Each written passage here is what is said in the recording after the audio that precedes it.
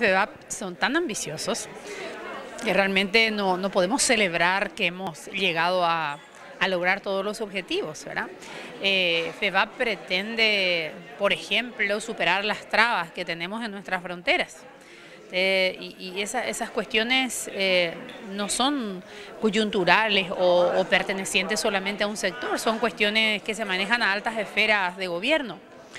Entonces, lo que FEBAP hace es caminar, ¿verdad? Eh, sabe a dónde quiere llegar, pero no llega todavía, pero avanza, camina y trabaja en la integración también en micro, ¿verdad? En la integración educativa, por ejemplo, hemos tenido grandes avances. Yo que pertenezco al sector educativo te puedo decir que en educación y cultura estamos súper integrados, pero eh, las cuestiones fronterizas, el comercio internacional, eh, es, un, es un espacio que está reclamado y que hoy justamente yo exponía necesita mejorarse para superar las debilidades económicas que tenemos justamente los, los países de frontera, que, que no son tampoco una causa directa nuestra, sino embates nacionales, tormentas nacionales que vivimos los países, pero que podrían ser más suaves si tuviéramos ¿verdad? una atención al comercio fronterizo, a la integración fronteriza y explotar el turismo, por ejemplo, eh, y, otras, eh, otras cosas, otras cuestiones concernientes a, la, a esa movilidad comercial que en otros países desarrollados ya es una realidad, ¿verdad? Y que podría mejorar las condiciones de vida de nuestros habitantes y hacer que esas tormentas económicas económicas nacionales no nos peguen tan fuerte.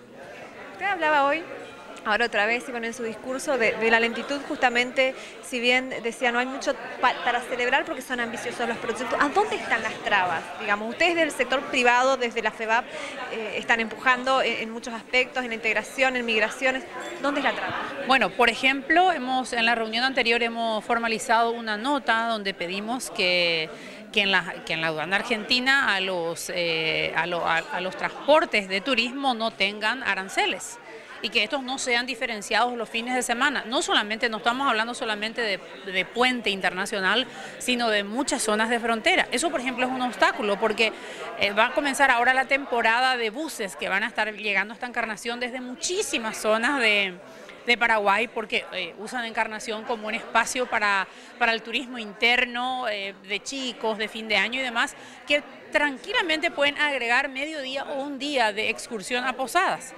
Pero como es difícil, es costoso y se puede demorar mucho, eso eh, de buenas a primeras se desecha y perdemos todos.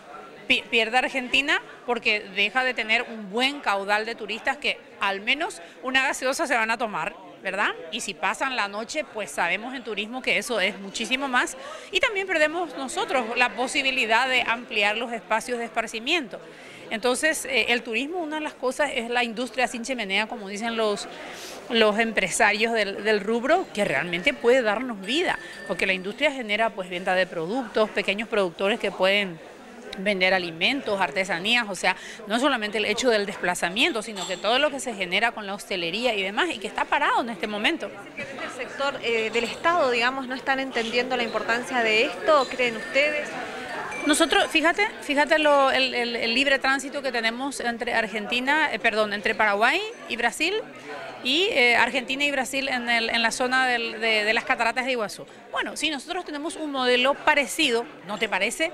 Que la gente va a venir de Buenos Aires y se va a ir mediodía a Encarnación o a pasar el fin de semana en Encarnación y viceversa, toda la gente de, Paraguay y de otros países, cuántos europeos que vienen, que podrían visitar, por ejemplo, que, que, son amantes de las reducciones, que también quieren venir a visitar las reducciones de la zona de emisiones, pero tienen temor de quedarse cinco horas en el puente, porque es siempre una incertidumbre, no solamente del costo de dinero, sino también del costo de tiempo.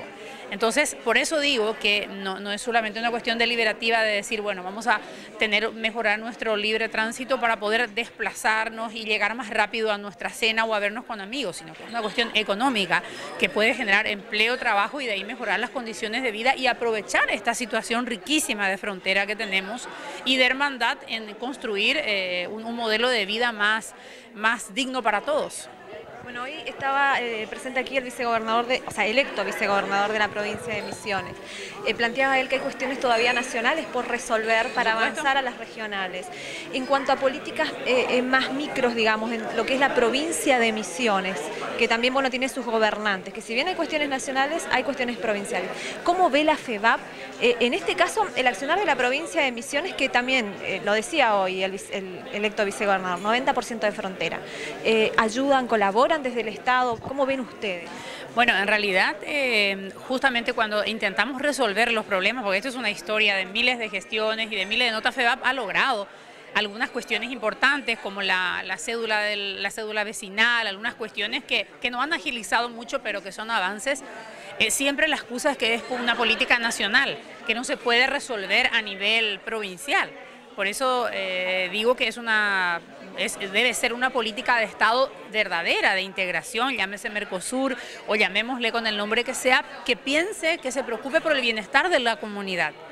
Eh, es cierto que los controles tienen que existir y que todos los países eh, van a, tienen que mantener su soberanía y su identidad, pero mejoremos las condiciones para que podamos transitar eh, más flexiblemente para que podamos transitar, para que podamos comercializar, pongamos las normas y por supuesto seamos muy respetuosas de ellas, pero hagamos eh, de esta región realmente una zona integrada como ya se hace en todo el mundo. Esto no es ninguna novedad, nosotros tenemos modelos sumamente exitosos y ¿por qué no evolucionar hacia esos modelos? Por supuesto que tiene que ver con voluntad política, así que siempre también los cambios traen una luz de esperanza. Bueno, estamos viviendo una situación de crisis económica y política, bueno, lo decía usted, tanto Argentina, bueno, Brasil también, eh, y, en este contexto Argentina está en proceso de elección todavía. Eh, el mensaje de Bolsonaro, de la advertencia de retirarse incluso del Mercosur si eh, gana la, fórmula que ganó, tuvo más votos ahora. ¿Usted qué piensa de todo esto, de, de estas declaraciones? Bueno, eh, las miro como espectadora porque las afectan más directamente a ustedes. Eh, la verdad que lo que más me preocupa como educadora y como ser humano es que la gente pueda vivir mejor y que realmente haya una intencionalidad, que no sea un mero discurso, porque para que la gente viva mejor necesita recibir mejor educación, mejor atención y necesita realmente una intención de que pueda elevar su calidad de vida y moverse socialmente. Eh, entiendo que si esa es la intención primaria de la política, que está definida como la búsqueda hacia el bien común, eh, no importa quiénes sean las personas o las doctrinas, nuestros movimientos tienen que tender a mejorar la calidad de vida de la gente.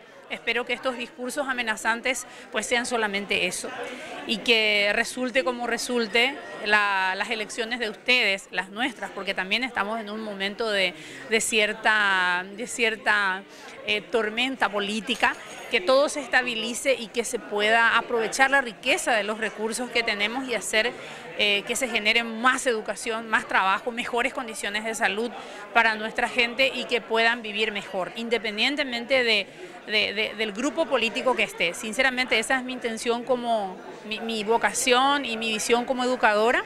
La educación, si no busca que la gente viva mejor, pues no es educación. Para eso hacemos todos nuestros esfuerzos y sueño con que los políticos también tengan ese punto de mira y se puedan superar estas diferencias y lograr realmente salir del discurso y hacer que la gente pueda eh, sobresalir, que pueda eh, tener esperanza que pueda educarse mejor, que pueda vivir mejor y, bueno, que logremos esa, esa América tan soñada para todos.